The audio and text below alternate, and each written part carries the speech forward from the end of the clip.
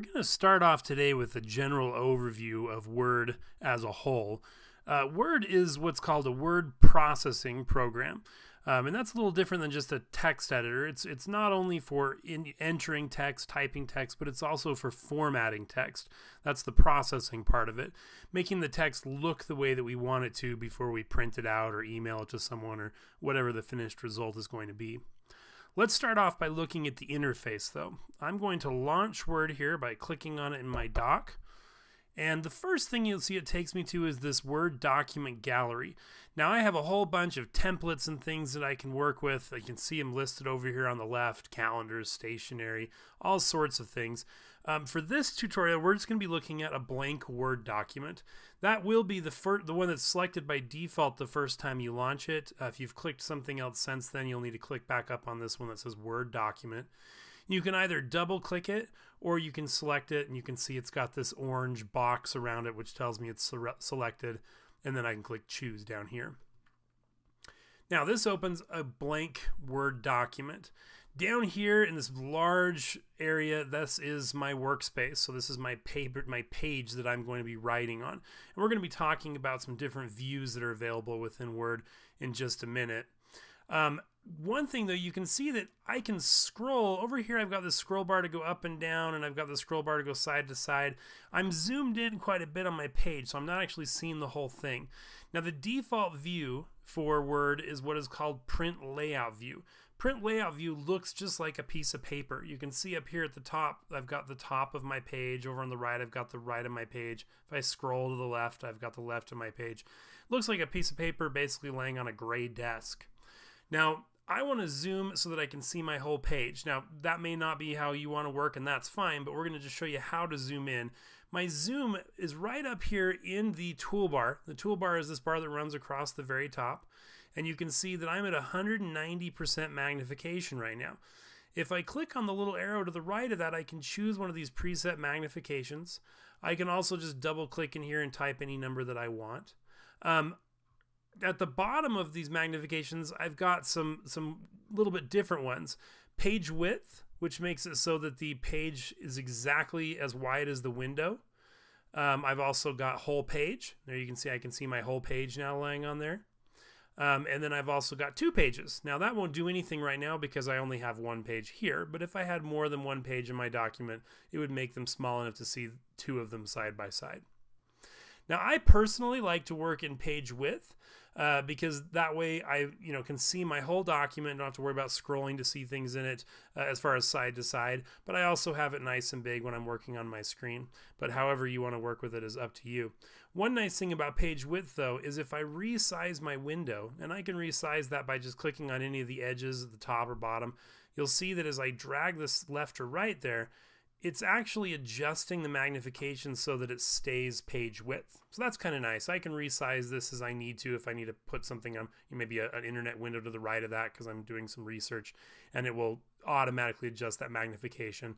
Right now you can see that I'm currently at 127% magnification. If I make this wider, you'll see that goes to 168 because it's adjusting to keep that at page width. So those are the different zooms. We've also got a whole bunch of other buttons up here in the toolbar that we're going to be talking about as we go through these videos. Underneath that, we have something called the ribbon. Now, the ribbon's a very important part of Word. This has most of the, the options that we're going to be using in order to customize our page.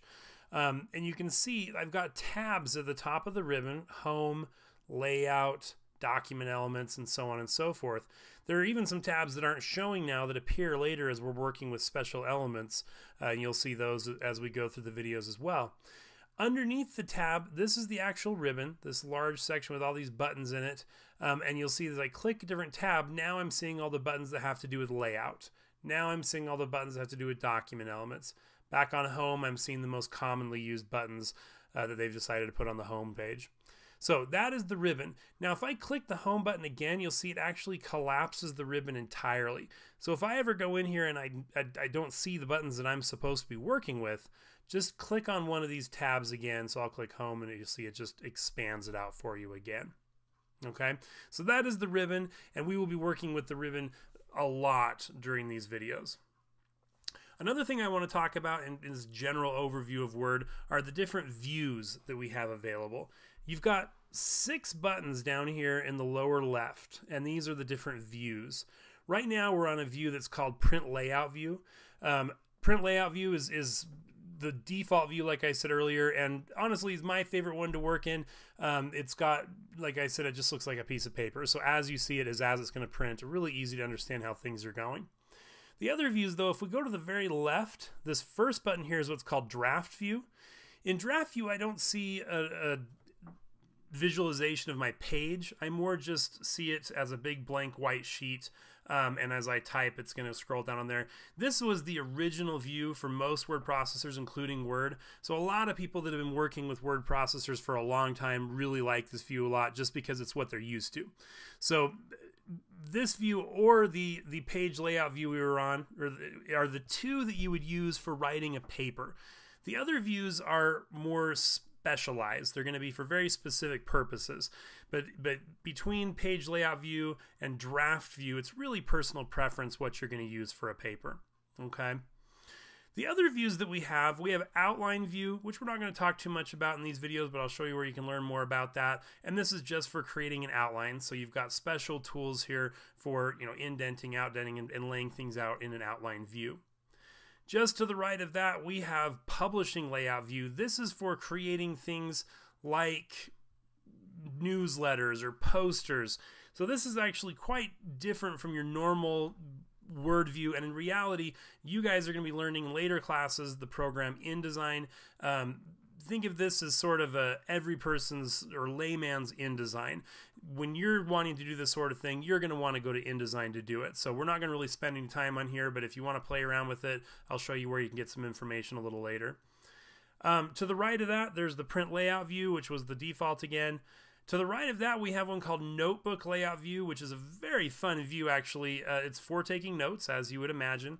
You've got some section tabs over here on the right, uh, an ability to, to you know label it at the top. Really great for if you're in a meeting or if you're in a class and want to have a, a nice, organized note-taking solution. Um, and then the last one to the right of that is Focus View. And Focus View, it's not going to let me do that because I'm in the notebook view. Let's go back to the regular.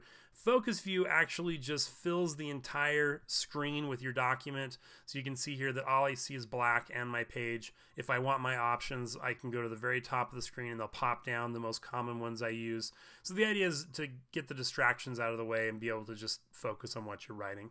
To get out of focus view, I can bring down my options and just click exit right over here, or I can just tap escape on my keyboard. And escape on my keyboard just took me out of the focus view. So those are my different views. Um, again, the only ones you're going to use for writing a paper are going to be print layout view or draft view, depending on your preference, but the others are quite fun as well.